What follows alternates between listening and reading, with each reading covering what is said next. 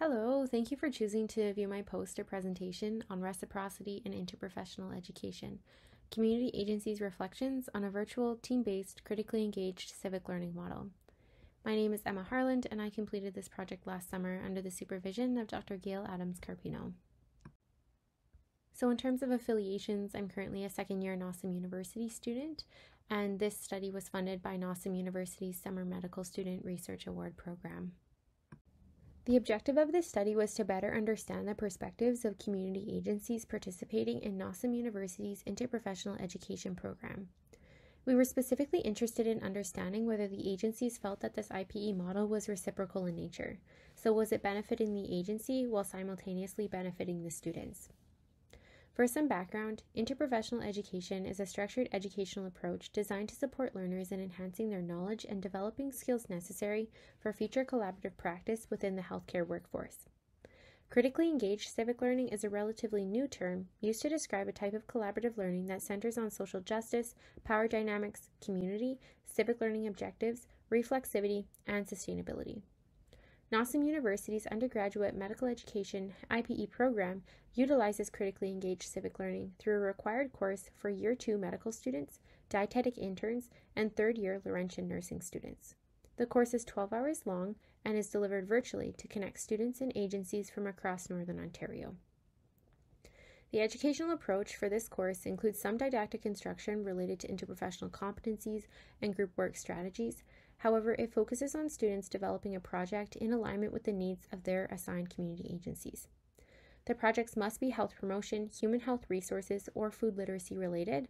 However, the projects can vary in format and have historically inclu- included PowerPoints, brochures, posters, and website designs. The data for this study was collected through semi structured interviews with the community agency representatives who participated in the IPE course for at least one year between 2021 and 2023. In total, there were 13 participants nine from the health promotion stream, one from the food literacy stream, and three from the human health resources stream. The interviews were audio recorded and transcribed. The data was then openly and axial coded using a lens of reciprocity to generate themes. So, for the results, Theme 1 included Return is Worth the Investment. Community agencies find value in the IPE program. Three sub-themes, sub-themes emerged, the first one relating to the benefits that were experienced by these agencies. These included support for existing and future programming, staff education, enhanced marketing strategies, improved staff recruitment strategies, improved structural organization, and the facilitation of relationships, specifically between the agency and the university, the agency and the students, and the agency and other agencies in Northern Ontario.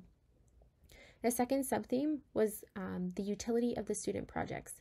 So, some of the representatives identified that the projects from the students were readily usable, while others had to be modified before they could be used within the agency.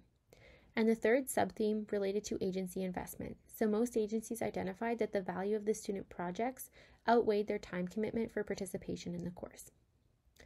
Theme 2 Students as program stakeholders, the student benefits observed. So, the agency representatives identified that students benefited from participating in the course because it enhanced their medical, personal, and social knowledge, and it also offered them an opportunity to learn in a new setting. The third theme the indirect recipient, positive community level outcomes were achieved. So, benefits um, were also extended to community members as a result of the projects that were developed. And from the perspective of the community agency representatives, they thought that the community members benefited from enhanced medical and social service knowledge, as well as enhanced service experience secondary to full staffing that resulted from the specific projects targeted to improve staff recruitment. And the fourth theme, maximizing outcomes, opportunities for program improvement. So these opportunities included expanding the program setting to include an in person component, enhancing student diversity by including representation from other health professions, addressing student dynamics to encourage students to participate more equally, and ensuring student projects were delivered to the agencies in an editable format. In summary, the findings demonstrate that there is some level of reciprocity perceived by the community agency representatives as a result of the newly implemented IPE model at NOSM University. The results will be shared with the instructional designers at the school to inform curriculum updates. Further research to assess student perspectives and quantify the reciprocal nature of the model is encouraged.